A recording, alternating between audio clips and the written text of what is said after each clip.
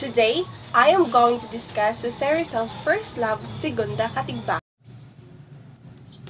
Segunda Katigbak is a girl from a well-known place in Lipa, who in the young age was sent by her parents to study at La Concordia. She is a close friend to Olimpia, happens to be a sister of Jose Rizal. And he, on the other hand, is a friend of Mariano Katigbak, Segunda's brother. He was just 14 years old when she met at the house of Jose Rizal's grandmother in Trozo, Manila. Jose Rizal was described her as short, with eloquent eyes, rosy cheeks, with an enchanting and provocative smile that reveals a very beautiful teeth.